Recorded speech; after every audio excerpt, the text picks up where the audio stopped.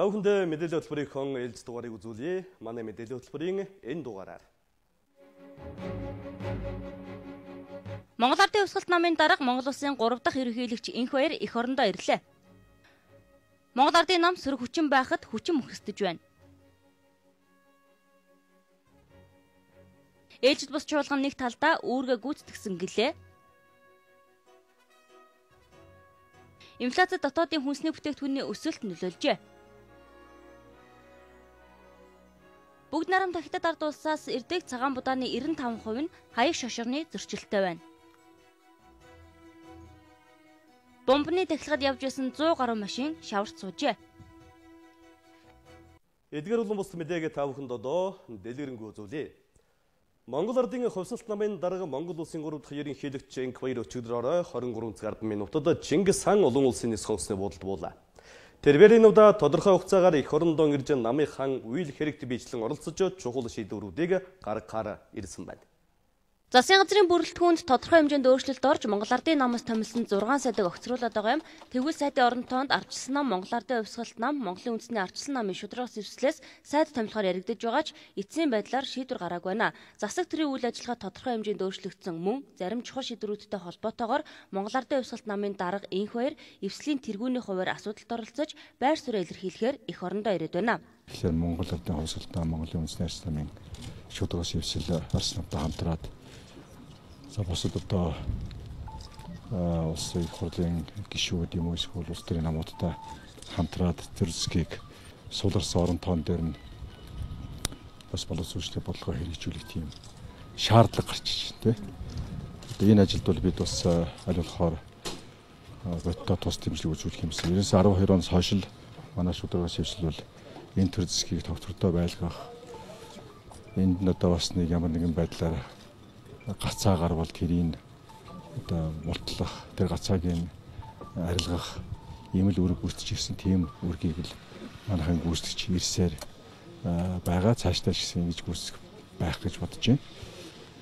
А бид тэгээд манай эвслийн хүмүүс нэгэнтээ ийм нөхцөл байдал бий болсон учраас та эвслийн тэргүүний хувьд бас энэ ажлыг ярилцахад хэлцэхэд ирэх ёстой гэсэн ийм байр суурь илэрхийлж намайг ирээч гэсэн. Тэгээд би бас энэ асуудлыг ерөнхийд нь мэдж байгаа болохоос биш ерөнхийд өнөөдөр ус орон бас нэг амаргүй тийм зам мөрийг туулж байна. Ийм мөчлөг таарсан байна. Тэрэнд нь миний тус байдгийн бол бас ирж нөхдүүдтэйч туслая. За бас энэ одоо төр зэсгийг ч гэсэн айтайхан тогтвортой ирээдүгэ харсан ийм одоо болгох юм уу эсвэл байхад нь туслая гэж туслах гэж ирж байна да. Улс төрийн нөхцөл байдал засгийн газрын 6 сайдыг томилж засагт хамтарсан намууд гэрээний хэрэгжилтэд ярьж эхлэв байна. Тэгвэл Монгол Ардын Хувьсгалт нам Монголын үндэсний ардчилсан намын шударга зэвслийн бүлэг 2012 оноос хойш засаг төрийг доктортой байлгах хэрвээ засгийн ажилд гацаа гарвал үүнийг арилгах үүргийг гүйцэтгэж ирснийг Монгол Ардын Хувьсгалт намын дарга инх баяр хэлж байна.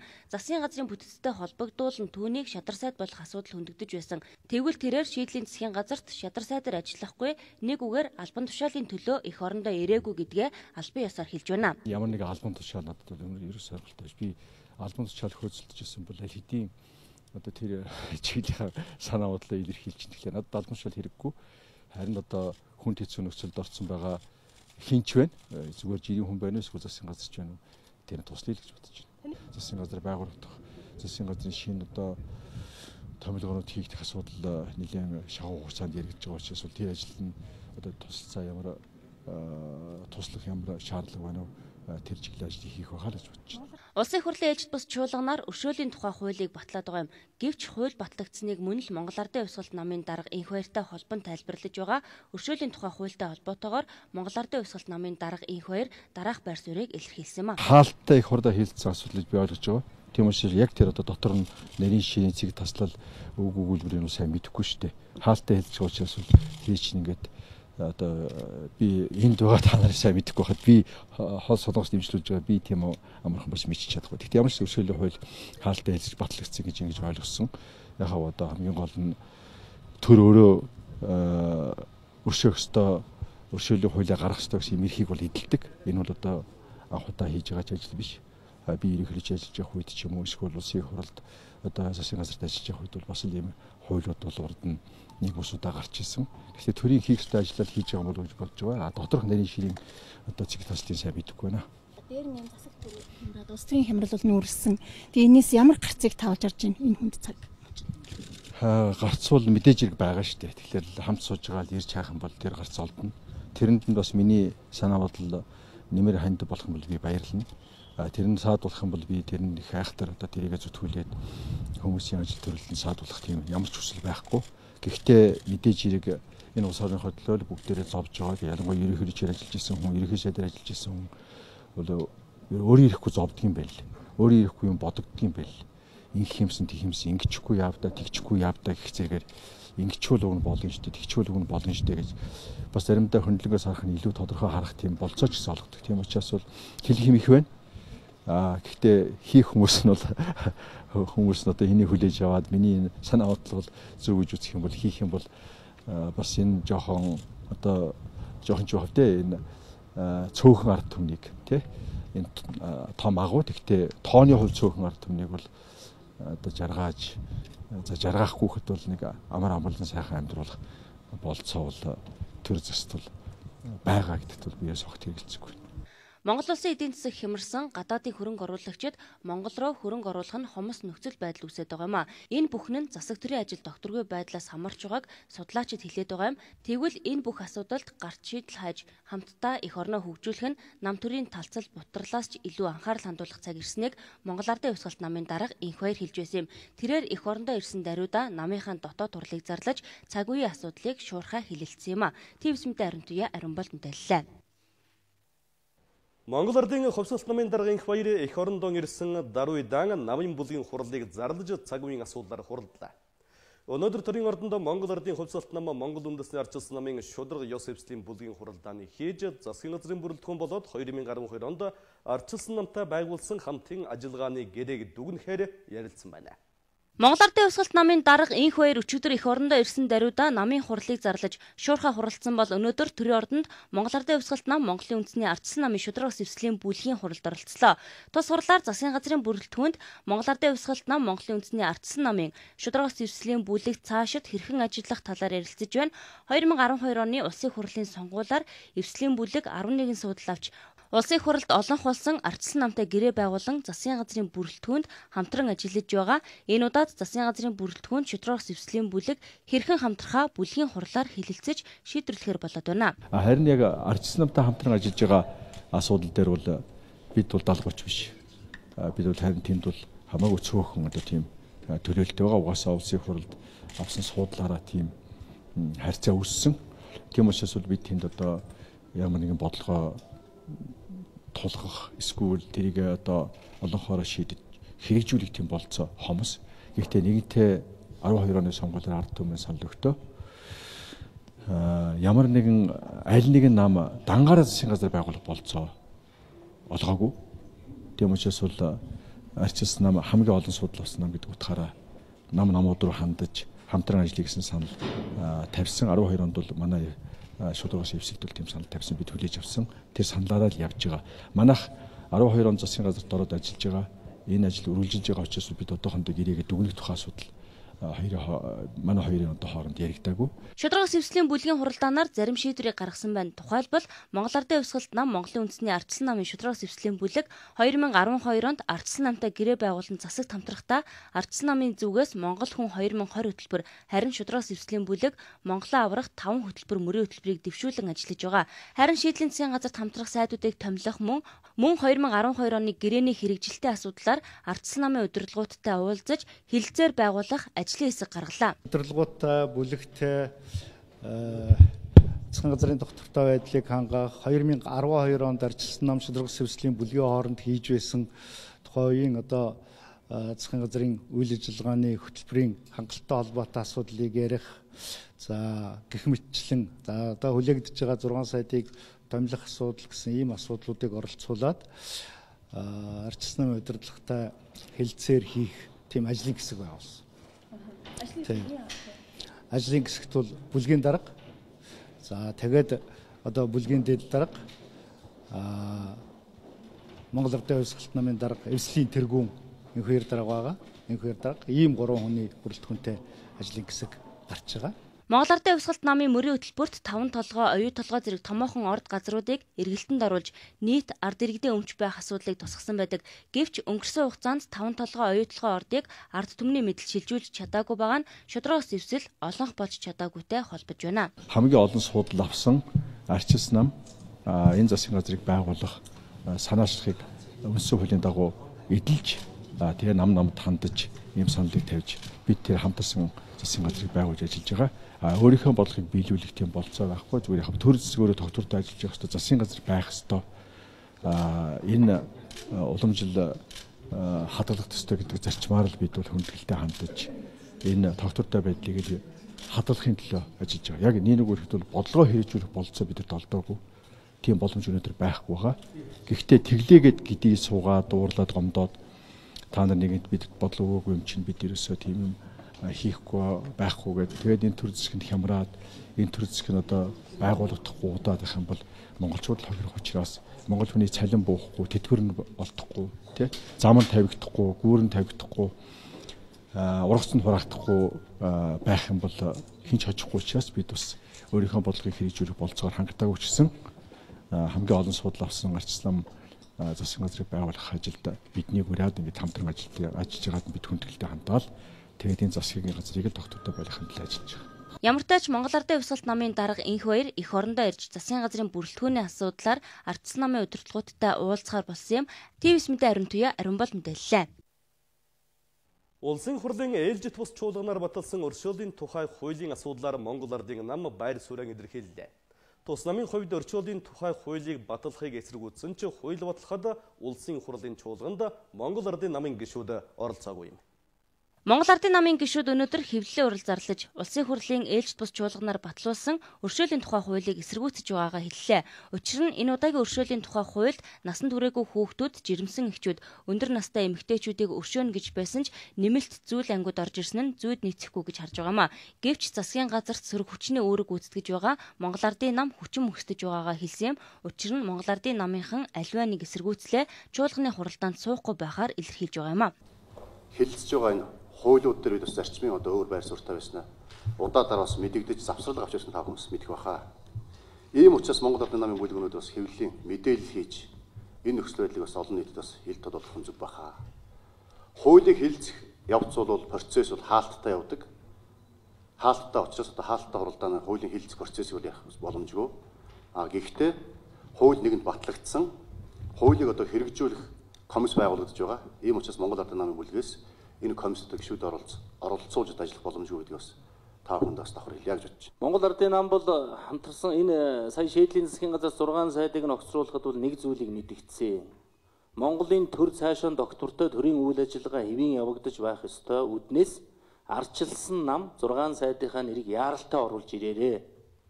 Энэ улс орны энэ төр засгийг самарсан, гацаасан, бужигнуулсан энэ байдлаа одоо зогсоогод одоо энэ намрын хадлан дижээлийн ураг сураалтын нөр их ажил өвлийн бэлтгэлийн үе ингээд эхэлж байна. Ажлаа хийя. Тийм учраас 6 сайдаа оруулж ирээ. Энэ асуудлыг нь бол Монгол Ардын намын яралтай шийдэж өгөөд явна гэдэг байр суурь илэрхийлсэн. Хэнийг оруулж ирэхээс нь шалтгаална штэ. Хүн бүр дээр ярьж яж дэмжихээс дэмжихээ албан ёсоор хэлнэ штэ. Энэ их хурлын томилгоо чинь нэг шүүлтүр санаатай юм байгаа юм штэ сөрөг хүчин дээр шүүлтүүрийн хөвөргөг үүсдэх үүрэгтэй. Тэгээ арчсан ном зөв хүмүүс оруулж ирэх байх гэдэгт найдаа сууж байна. Тэгтээ арчсан номд хязгаарч ч юм өөрчлөгдөхгүй. Арчсан номд бол фракцуудын хүч төрсөн хуваарлалт явагддаг. Өршөөлийн тухай хууль батлах үед Монгол Ардын намын гишүүдийг чимээгүй байдлаар дэмжсэн гэж улсын хуралдах бусад намын төлөөллүүд үзээд байгаа юм. Гэвч Монгол Ардын намын гишүүд чуулган эхлэх үеэр хуралд оролцож санал хураалт явуулах үеэр чуулганыг орхин ардагдгийг тогтоогод байгаа юм. Энэ нь Монгол Ардын намынхны тайлбарлаж байгаагаар аливаа хууль тогтоолын төслийг эсэргүүцэж байгаа гэх боловч сөрөг хүчин байхад хүчин мөхсдөж байгаагаа үүгээр харуулад байгаа юм а. ТВС мэдээ ариун туяа ариун бол мэдээллээ. Энэ өдрийн тодруулгад та бүхэн одоо анхаарлаа хандуулна уу? Ээлжит бусад чуулган өндөрлөх гэж байгаатай холбоотойгоор их хурлдах бие даагч гişүүд чуулганд ямар үнэлэл төгч байгаа талаар бид сонирхсан юм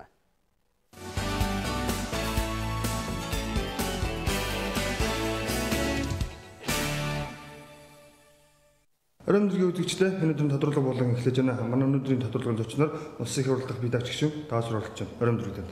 Та бүхэн ч орон мэд хүргэе. Тэгэхээр улсын хурлын ээлж тус чуулган ерөнхийдөө бол маргааш буюу одоо сүүлийн өдөр хуралдана гэсэн мэдээлэлтэй байж байгаа дээ.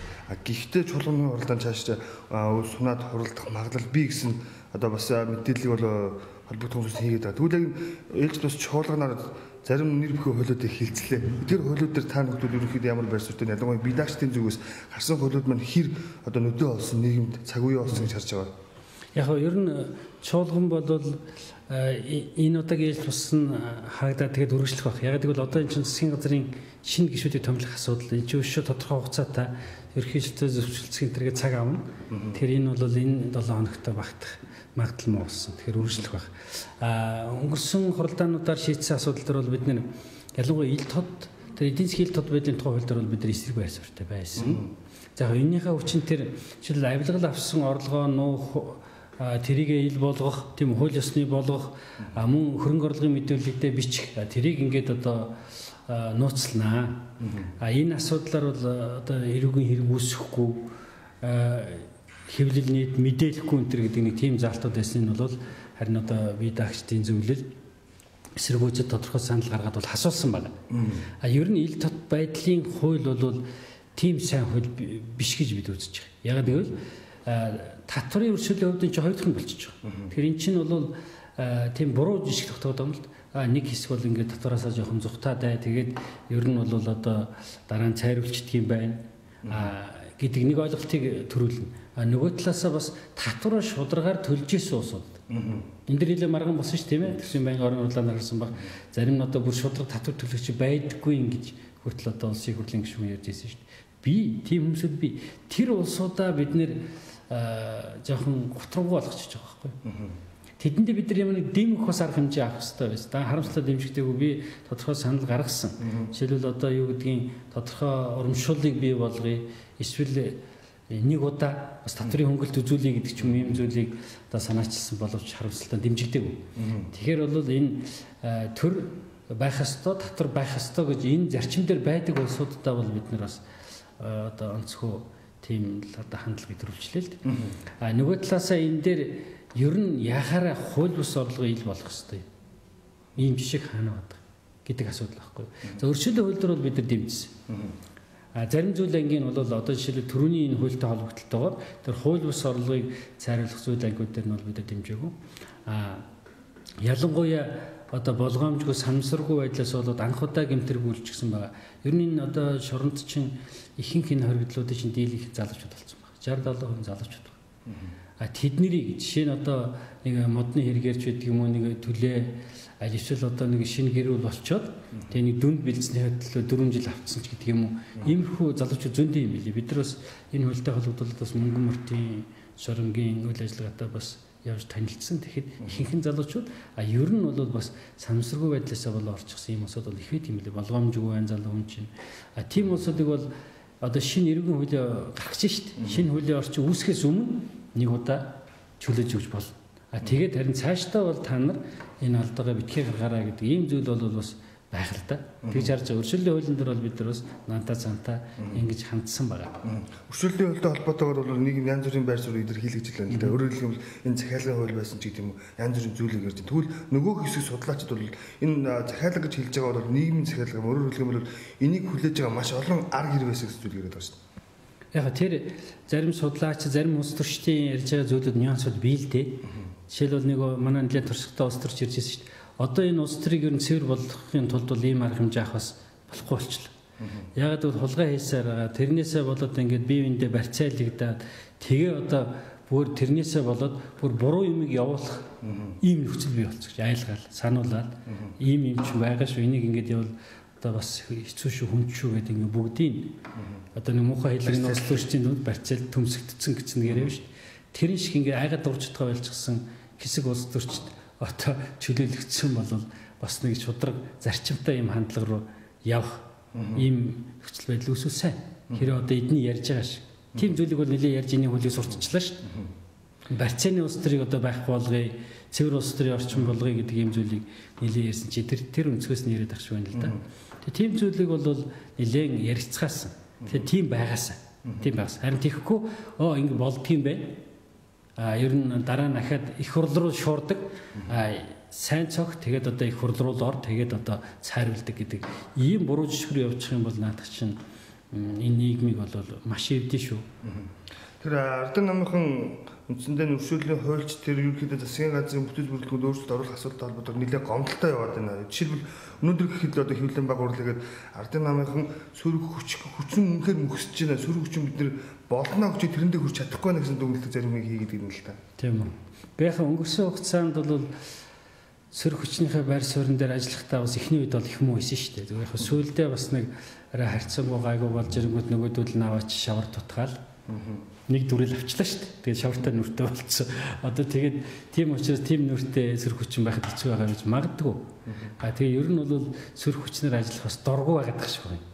Ерөөсөө ингээд заавал нэг алуун тушаалтай байвал инээж явдаг, алуун тушаалыг бол хөөсөх зангидж явдаг ийм байдал ч юм бас орчод байна шүү дээ. Тэгж бас болохгүй л дээ.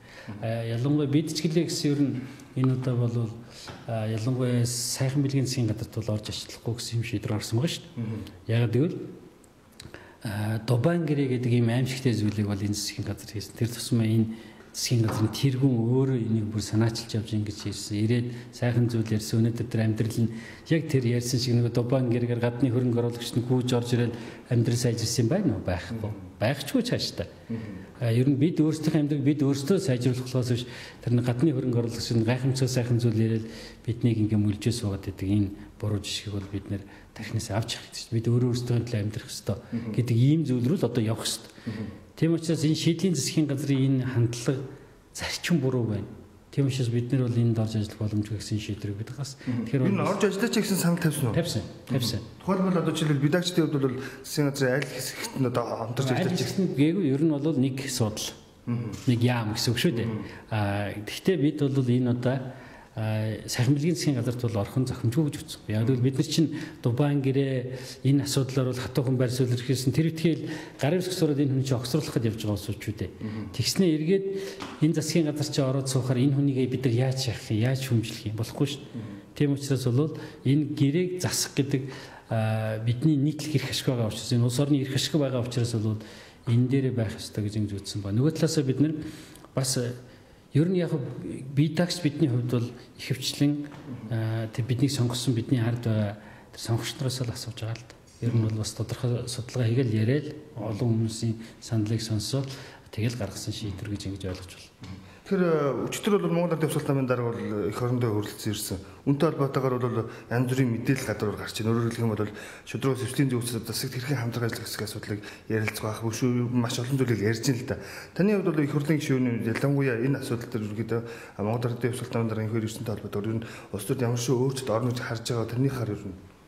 Гэхдээ ер нь саяхан улс төрд бол томоохон байр суурь хадгалж чадаж байгаа юм том л улс төрч шүү дээ. Тэгэхээр мэдээж энэ хүний улс төрийн орон зай байлгүй байх Тийм хүсэл эрмэлзэж бас зарим иргэд нийгмийн одоо сэтгэл зүйд бол байгаа гэж би ингэж харж байна л да. Ялангуяа рейтингийн судалгаар бас эхний 10-т байгаа л нэг ус төрч нэг шүү дээ. Тэр талаас энэ үйл ажиллагаанд оролцъё гэдээ ирж байгаа нь бол болох зүйл шүү дээ. Энэ дээр бол нэг гайхшаад нүд гараад их зүйл биш л дээ. Байх л ёстой зүйл. За баярлалаа. Тэр үстэй өнөөдрийн тодруулга маань энэ хүрээд өндөрлөж байна. Манай өнөөдрийн тодруулгын зочноор Улсын хурлын бие дач гишүүн даасвар орлоо.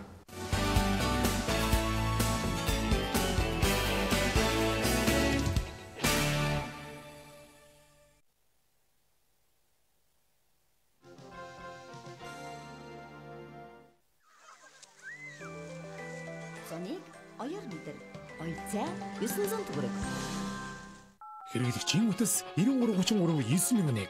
Таны